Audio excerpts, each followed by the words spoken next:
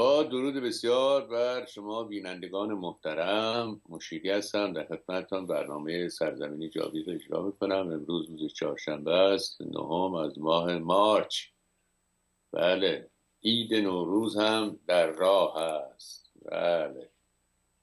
در روزهای چهارشنبه مدت یک ساعت خدمتتون هستیم و در باب مطالب مختلف صحبت می‌کنیم.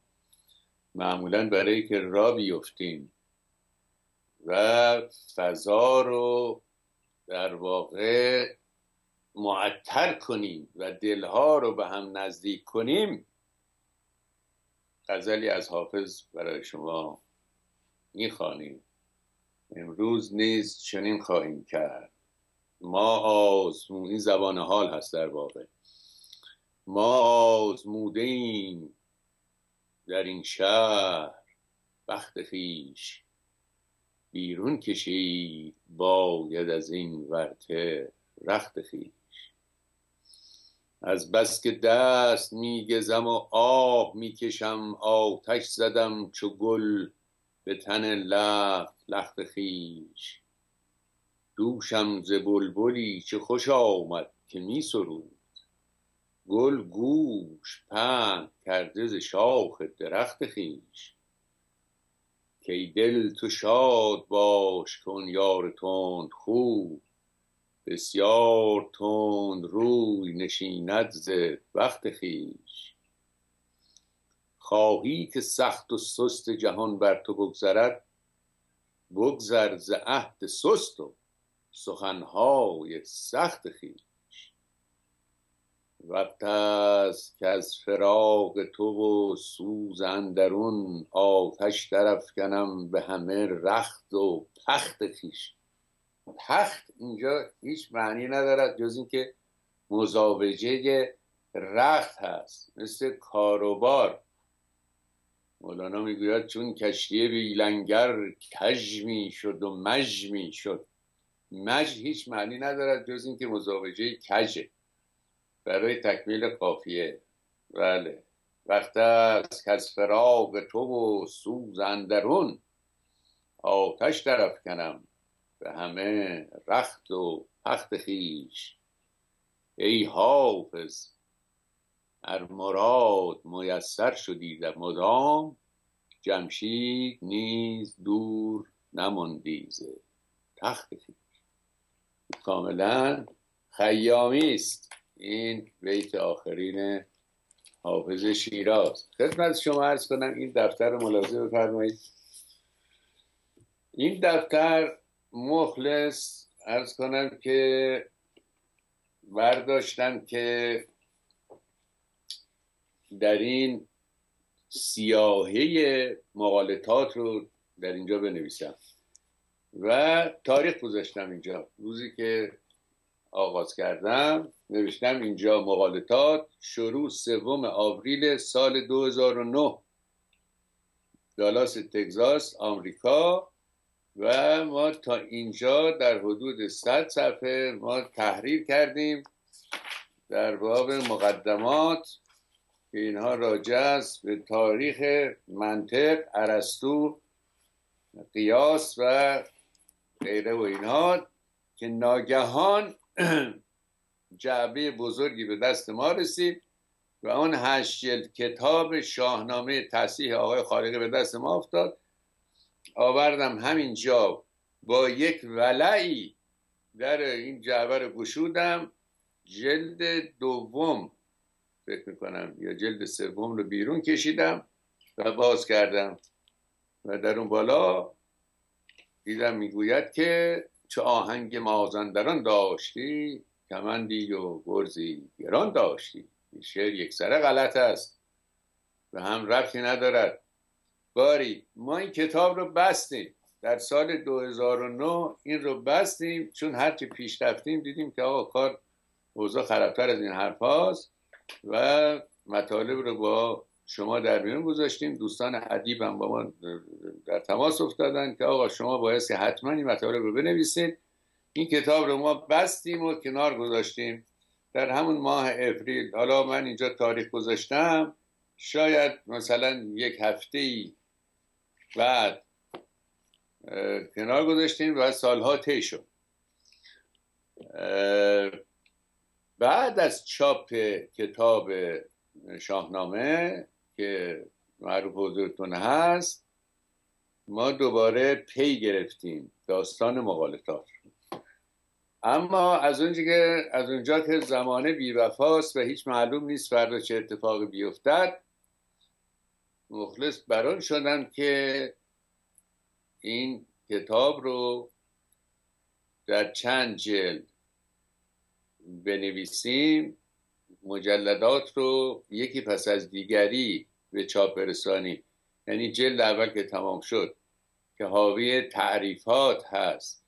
و معرفی مقالطات و انواع آنها هست اینها رو به چاپ برسانیم و بعد مشغول بشویم به جلد دوم که اگر چنان چه اتفاقی افتاد و ارز کنم که ما نتوانستیم ادامه بدهیم حداقل پس از این همه سالها که ما در باب این مطلب مهم صحبت کردیم یک چیزی یک جلد حداقل در این باب نوشته شده باشد حالا برای اینکه شما آشنا بشوید که ما اینجا چه نوشتیم در مقدمه که البته هر نویسنده مطلبی رو که نوشت بازنگری می‌کنه شرح و تعدیل می‌کنه بعضی مطالب رو عوض می‌کنه بعضی مطالب اضافه می‌کنه.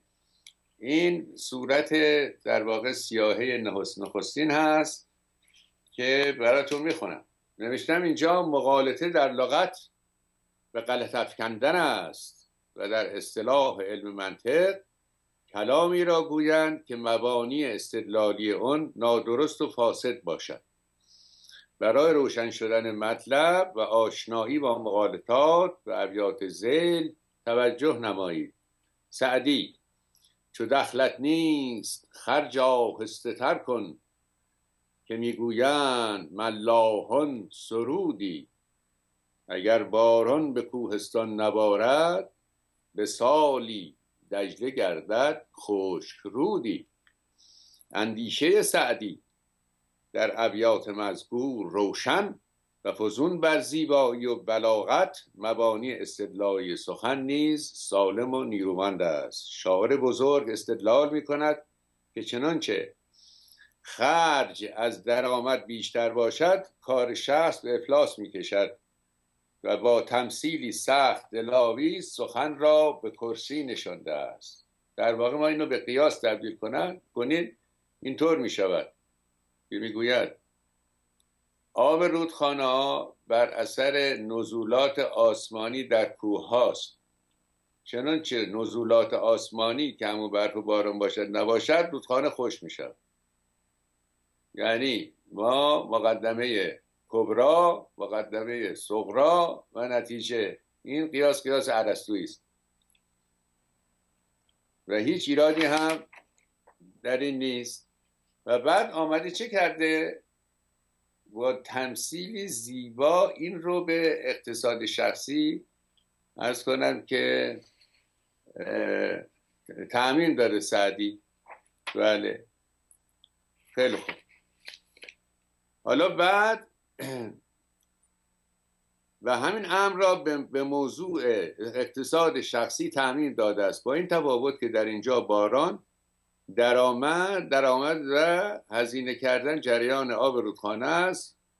حال به ابیات زیل نگاه کنید. ای کریمی که از خزانه غیب گبر ترسا وظیفه خورداری دوستان را کجا کنی؟ محروم؟ تو که با دشمن این نظر داری. در اینجا تعصبات دینی. چشم خرد سعدی فرزانه را تیره و تار کرده و در دو بیت مذکور مرتکب سه نوع مقالطه شده است که تکرار یکی از آنها مجموع مقالطات در, بیت فوق را به پنج میرساند. در اینجا سعدی بزرگ مبتنی بر آموخته های دینی خود فرض فرموده است که کریمی در جهان هست که از خزانه غیب او گبر و ترسا اینا تو گیوم است که در واقع برای معلوم شدن مطلب وظیفه خور هستند. و اون کریم که از فرط کرامت دوستان خود را روزی می‌دهد بله ببخشید. دشمنان خود را روزی می‌دهد یعنی گبر ترسا یعنی زرتشتی مسیحی مسیحی. حتما دوستان خود را که مسلمان هستند محروم نخواهد گذاشت. ای کریمی که از خزانه غیب گبر و ترسا وظیفه خور داری دوستان را کجا کنیم؟ برای تو که با دشمن. شیخ علیه الرحمه با آوردن کریم خزانه غیب دشمن و دوست پنج مرتبه به مقالطه مصادره به مطلوب و با آوردن گبر و ترسا دو بار به مقالطه تعصب و با نشان و, و با نشان دادن سرچشمه وظیفه که از خزانه غیب باشد یک بار به مغلطه توضیح مرموز دوچار آمده است. توضیح ما مغلطه توضیح مرموز این است که شما نتوانید به روشنی مطلب رو روشن کنید. من می‌گویم مثلا جبرئیل. جبرئیل آمد آیات قرآنی رو مثلا از خدا گرفت آورد اینجا. میگیم این جبرئیل داستانش چی؟ این جبرئیل کجاست و اینا؟ این جبرئیل مغلطه توضیح مرموزه. جبرئیل یعنی چه؟ جبریل آمد وسط را با میکائیل هم یه بستنی خوردن. اینا مزخرفات لاتائله. اینا حرفایی چی نیست جز لاتائلات از دید منطق عرض می‌کنم و. از دید عاطفه و عرض می‌کنم از دید اعتقادات دینی. خب همه چی خوب. عالی. جبرئیل خب. بله. در باب هر یک از مقالطات یاد شده در بخش های آینده توضیح خواهم داد. حال به ابیات زیل از مولانا جلال الدین محمد بلخی رومی توجه فرمایید. شب نگردد روشن از ذکر چراغ نام فروردین نیارد گل به باغ. تا قیامت صوفی ار می می کند تا ننوشد باده مستی کی کند. به. این سخن زیبا که فزون بر همه ویژگی های شعری. ذوق و حال و گرمای نشاطانگیز دنیای درون این عارف بزرگ را با خود دارد سخنی متین است که مبانی عقلی و استدلالی اون هیچ گونه ضعف و خللی ندارد. در واقع مولوی در این کلام اصل تجربه گرایی این اصل مهمی است در علم. تجربه گرایی اصل تجربه گرایی را در حصول حقیقت مد نظر داشته و به مطلب بسیار مهمی توجه فرموده است. امپریسیزم می‌گویند به زبان انگلیسی. تجربه گرایی رابرت بویل شیمیدان بسیار معروف در واقع می‌شود گفت از بنیانگذاران اصل تجربه. یعنی ما برای حصول حقیقت بایستی بتوانیم تجربه کنیم ببینیم که هست یا نیست. بله. توجه قبل است. اکنون به ابیات زیل از مولانا توجه فرمایید. هیچ کافر را به خاری منگرید. که مسلمان بودنش باشد امید. چه خبر داری ز ختم عمر او که به گردانی از او یک بار رو؟ در اینجا از کلام مولوی بوی تعصبات دینی به مشام می‌رسد و اندیشهش با آنچه در باب اندی... در باب اندیشه سعدی گفته آمد تلاقی می کند در این دو بیت مولوی بزرگ حداقل به دو مغلطه دچار شده است. یک مغلطه مصادره به مطلوب که در آن مسلمان را گرانمایه و کفار را خارمایه فرض کرده است و دو مغلطه تعصب و عرض می‌کنم که که به کار بردن لفظ کافر مستاق آن است. بله. و این یه نمونه ای بود که حالا من نمی‌خوام وارد بقیهش بشم و اینها. و بعد مقالطات مورخین. مورخین چگونه مغلطه می‌کنن؟ مثلا یک تکه آوردیم اینجا از جنگ قادسیه. از که وارد این بشوم اینجا مولانا چه می‌گوید؟ می‌گوید که به کفار یعنی غیر مسلمان ها ارز کنم کفار دو گونه هستن. کفار حربی کفار کتابی. کفار کتابی عبارتن از یهودی و مسیحی. بعد زرتشتی ها هم ای دیدن ایران کشور بزرگی و ثروتمندی است اینها نمی شود که ارز شود که کافر مطلق به حساب آورد. گفتن اینا هم جز ولی در قرآن اهل, اهل کتاب اهل کتاب یعنی مسیحی هست و یهودی. اینا کافرن. اهل ذمه. اینا برای اینکه دینشون رو نگهداری کنن بایستی پول بدن. میگه به این کفار به خاری نگاه نکنید. به چه دلیل؟ چون ممکنه یه روزی مسلمون بشه بابا. یعنی کافر خار هست بایستی به خاری نگریست و در تو سرش زد. اما تو بیا یه کاری بکن. چون ممکنه یه روزی مسلمون بشه به اون اعتبار خارش نکنی. هیچ کافر را به خاری ببینید. اینها این بزرگان ما تا زمانی که در دنیای اندیشه بودند سخنانشون از زیباترین سخنانی است که هرگز گفته شده. به محض اینکه در واقع وارد این داستان متعفن دین می شدن اینطور می شد ببینید مولانا از کجا به کجا ساقط شد. از کجا به کجا شب نگردد روشن از ذکر چرا نام فروردین نیارد گل به باغ. تا قیامت صوفی ار می می کند ننوشد باده مستی کی کند؟ از این زیباتر و بهتر مستدلتر پیدا نمیشه کرد.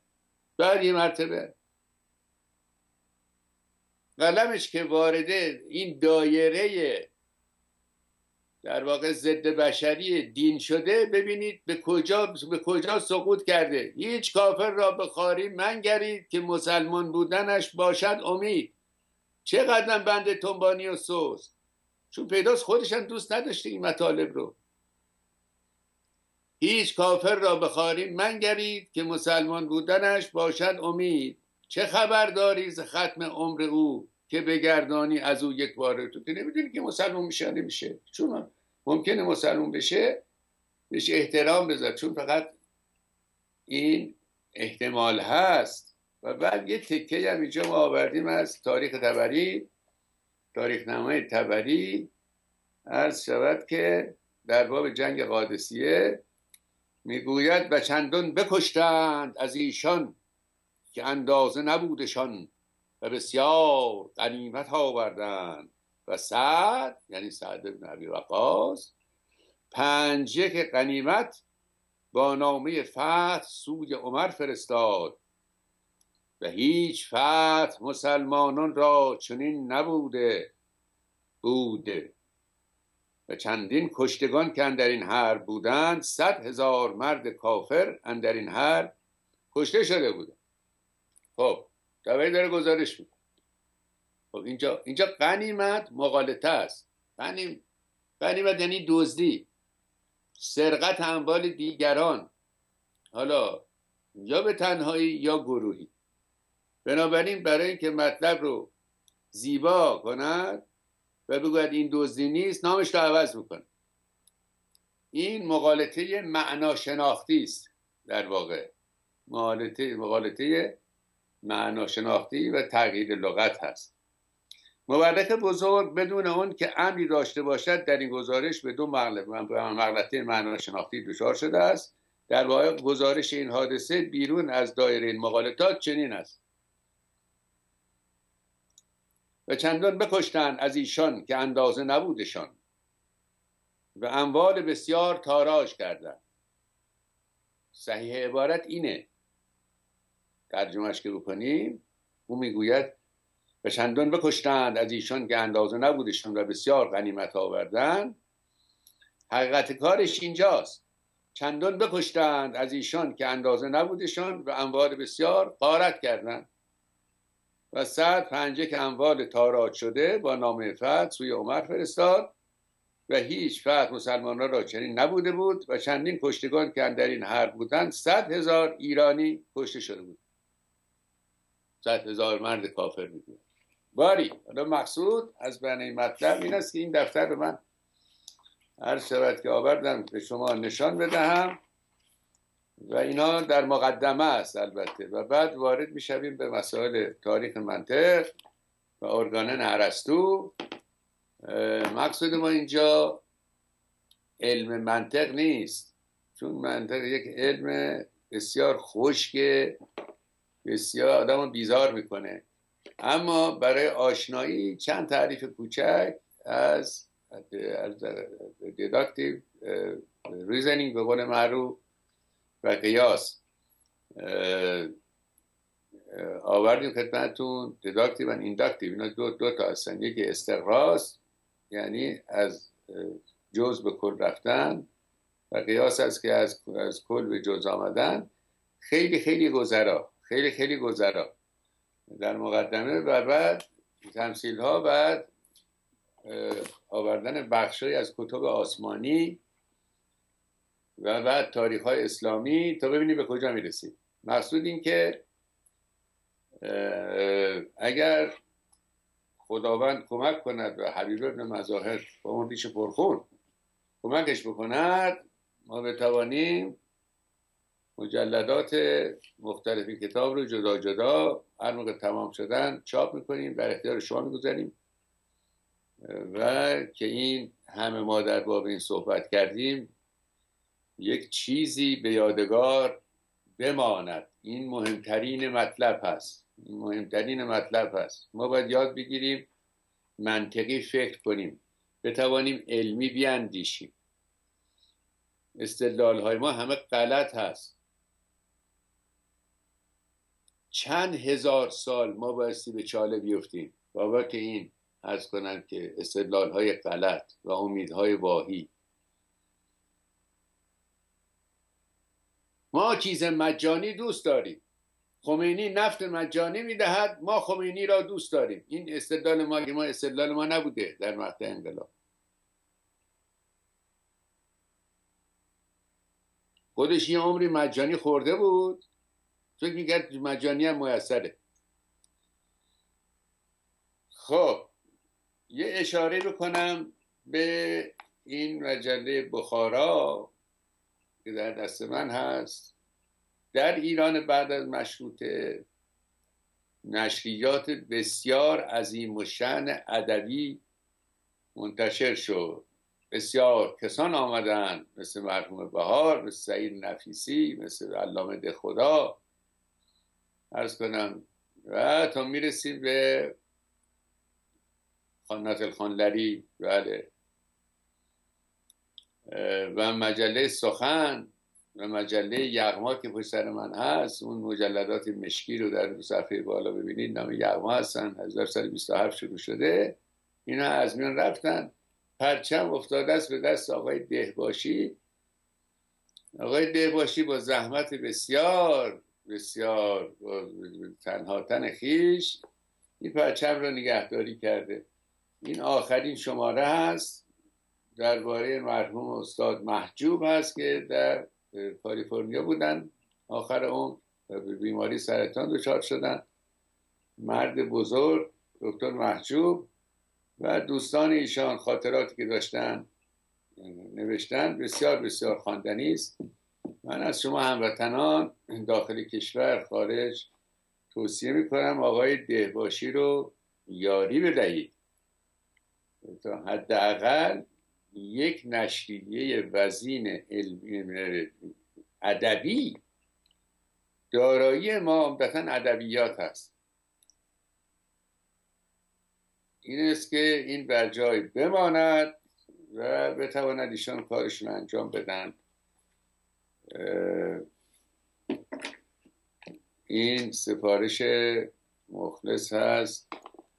به شما در هر در جلسه پیشین ما آمدیم در باب آقای سید محمد خاتمی صحبت کردیم و میهمانی هم داشتیم که ایشون هم چون در ایران بوده در روزگاری که ایشان رئیس جمهوری شدن مطالبی گفتن. بعد یکی از دوستان از ایران تلفن کردن که آقا شما با این کاری که کردید همصدا شدید.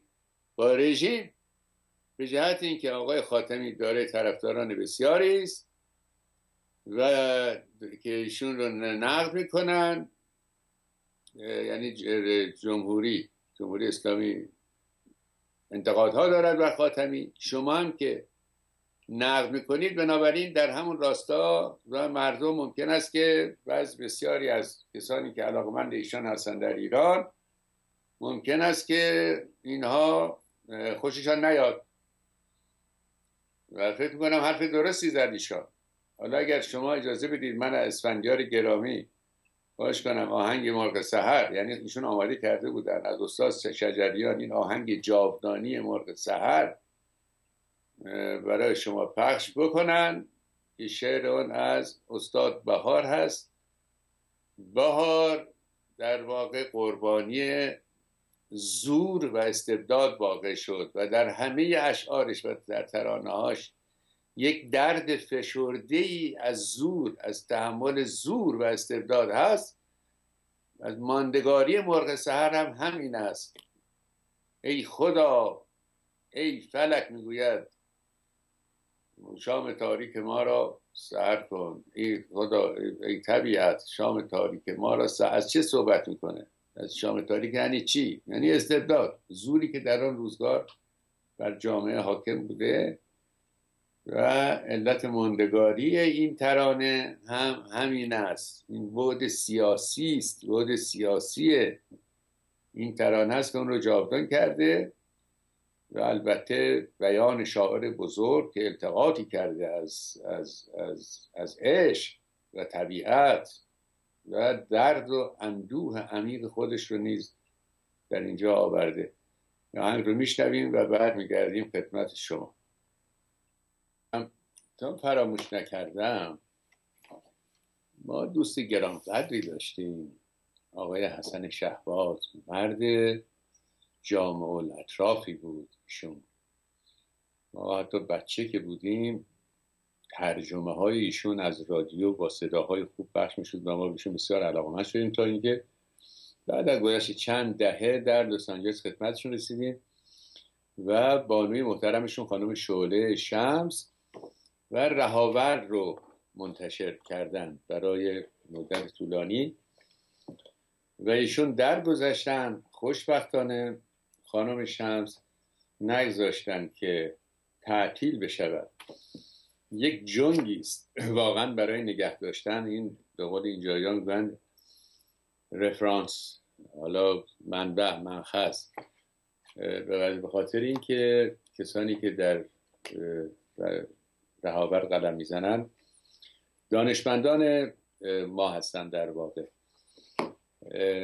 من توصیه می‌کنم پشتیبانی کنید هموطنان نشریه رو پشتیبانی کنید خانم شمس رو پشتیبانی کنید. تلفنشون اینجا من عرض می‌کنم. حتما زنگ بزنید و سفارش کنید. رهاور رو. تلفن ایشان هست 424 273 424 273 17 33 تلفن رهاورد هست. بله. و مقالات بسیار بسیار خوب.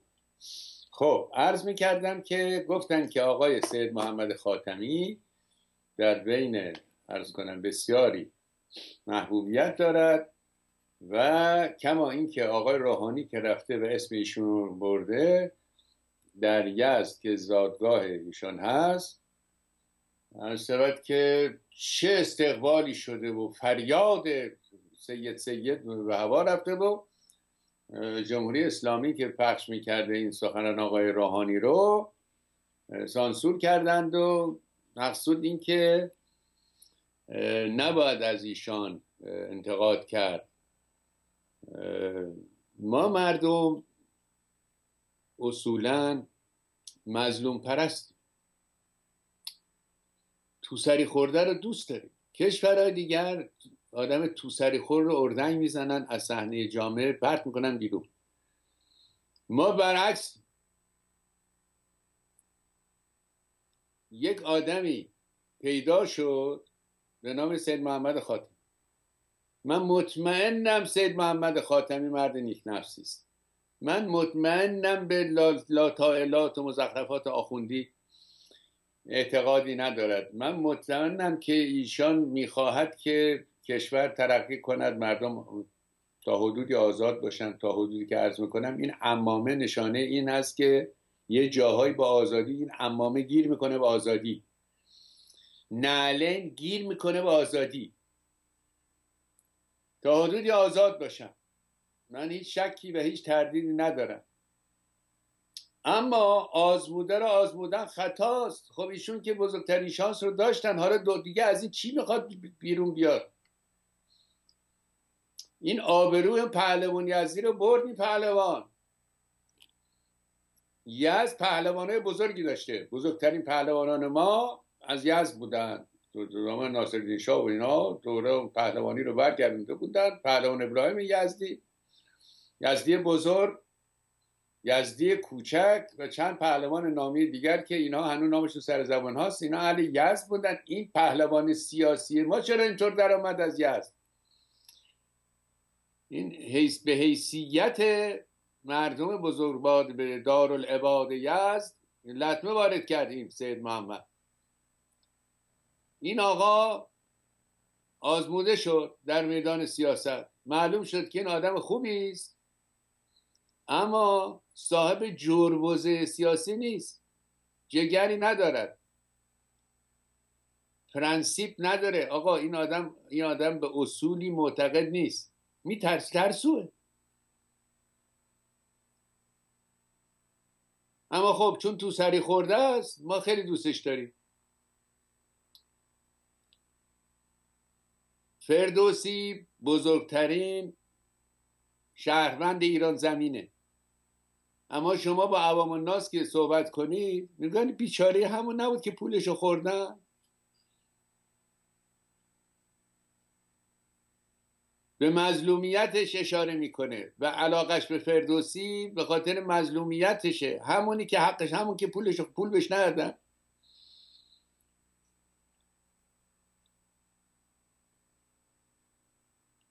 تعارف داریم ما. با خود ما. آقا این یه بابایی بود. این همه پشتیبان داشت. آخوندها اون زمان قدرتی نداشتن. آخوندها متزلزل بودن. سپاه پاسداران آخوندها انقدر مهیای سرکوب نبودن. این همه خودشون رو در واقع تقویت نکرده بودن. براشون تجربه شد. این آقای خاتمی به اینها میدان داد که در واقع آماده سرکوب باشن هر لحظه در هر جای ایران. با 22 میلیون پشتیبان که حاضر بودن که جان بدن. حالا تو سری می‌خوره میره در منزل مینشه نمی‌ذارن بره عروسی. پاسپورتش هم گرفتن مظلوم شده. برش باید گریه کنه. بذارمیش بغل دست حسین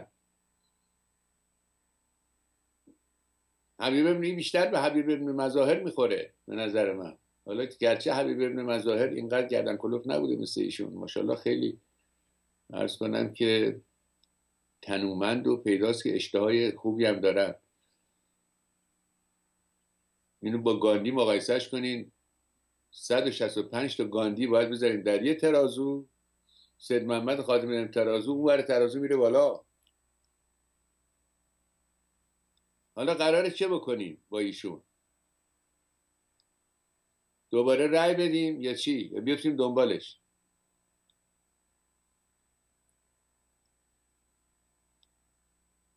جواب این است که آقا در روزگار خاتمی کتاب خوب چاپ می‌شد بسیار عالی فیلم های خوب ساخته می‌شد درود بر ایشان.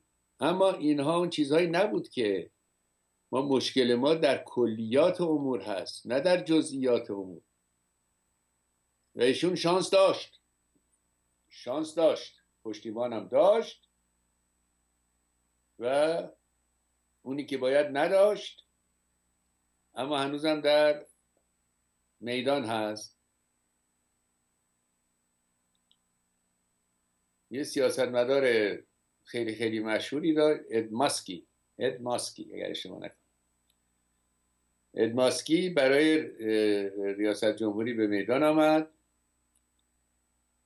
حریف انتخاباتیش یک توهینی کرده بود. ادماسکی ایستاد زیر برف. گفت من زیر این برف میستم تا این مرد بیاد از من معذرت خواهی بکنه. اون نیامد. چند ساعت ایستاده بود زیر برف و اون آقا نیامد معذرت خواهی کنه. این گریست. گریه کرد. چون گریست مردم به طور کل ازش فاصله گرفتن. گفتن آقا آدم ضعیف به در رئیس جمهوری نمی‌خوره. اما برای ما اگه ما بودیم عشق و مهرمون به او چند برابر می‌شد. چون ما مظلوم رو دوست داریم. میگیم آقا گریه کرد. دیدین چه اشکی میریخ دوست داریم. ما گریه کنیم. آدمای گریه کنیم. یه مناظره هست از اسدی توسی بله. که میگه یک مرد عرب و یک مرد ایرانی مناظره می‌کردن در برتری عرب یا عجم. این از عجم دفاع باید بیارم بخونم خدمتتون. خیلی خوندن نیست جالبه. یکی از ایرادایی که اون می‌گیره میگه شما آدمای گریه کنی هستی. بلا فاصله شروع می‌کنید به گریستن و مظلوم نمایی کردن و اینها. وضعیت این بزرگوارم چنین بوده. البته ما که خارج کشور هستیم برداشتامون از قضایا و اینها خیلی خیلی فرق می‌کند با کسانی که در ایران هستن. و یکی از استدلال ها این است که اونچنان مردم به اضطرار هستن که دوست دارن از از کوچکترین فرصتی برای یک ذره آزادی استفاده کنن. اینها مجبورن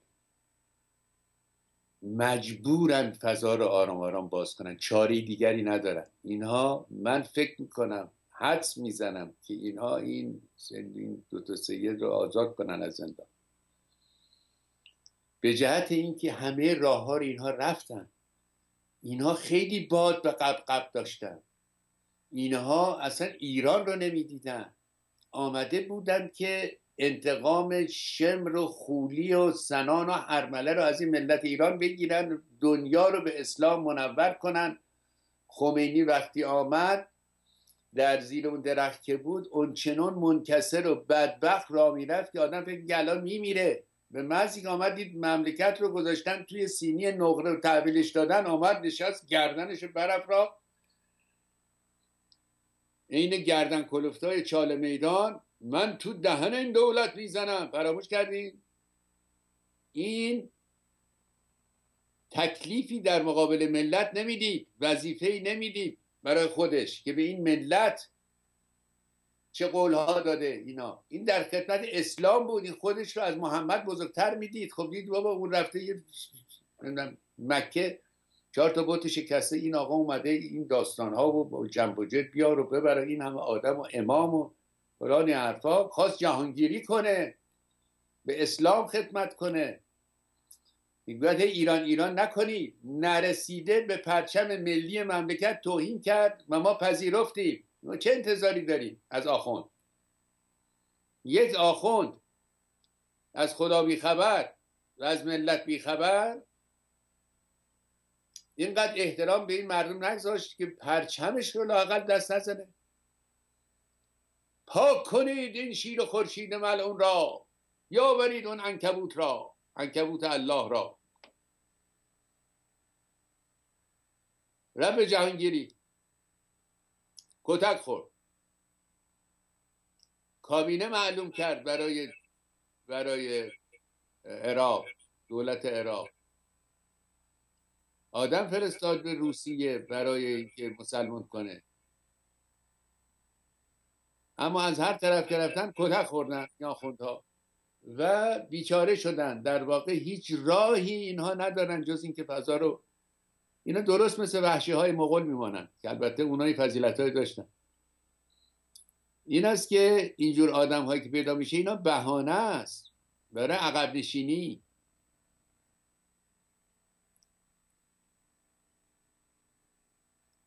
خاتمی نه یه کسی دیگه. چاره این تا کجا می‌خوان به مردم زور بگن؟ چه جنایتی هست که در کتاب هست و اینا مرتکب نشدن؟ به هر راهی رفتن کارشون به افلاس و شکست هیچ مشکلی رو اینا حل نکرد. مجبور هستن اینا عقب نشینی بکنن.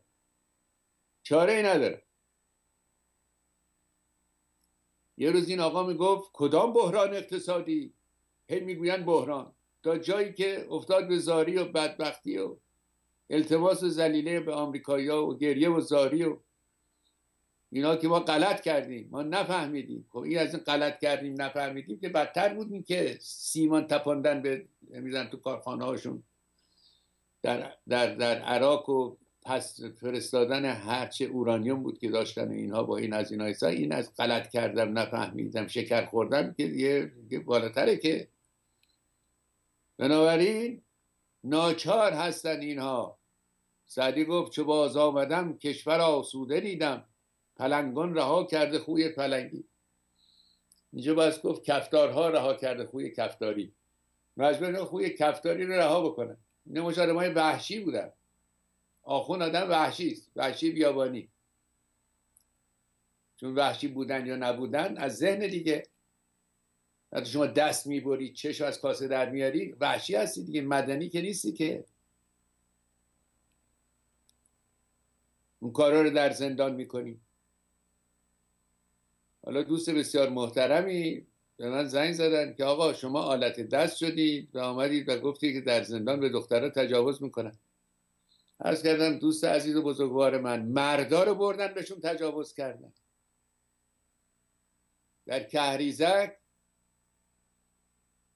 اون آقای رادان نگاه می‌کرد به یک جوان گردن فراز ایرانی گفت ببر یه بچه بذار تو شکمش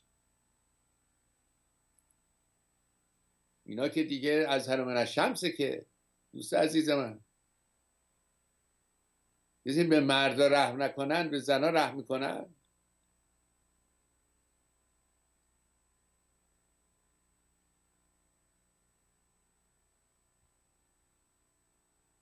فکر می‌کنم وقت ما تمام شد. نه اسفندیار خان. بله. وقت ما تو به پایان آمد این دفتر. حکایت همچنان باقی. به صد دفتر نشاید گفت. حسب الحال مشتاقی.